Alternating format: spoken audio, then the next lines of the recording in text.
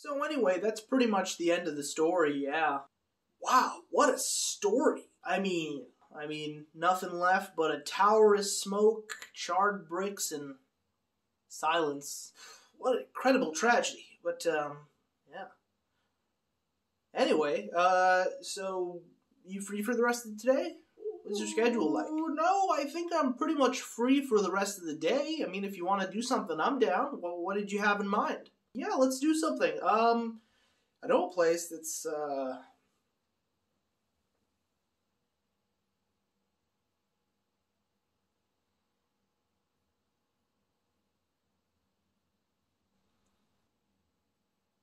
were were you gonna were, were you gonna finish your sentence, dude?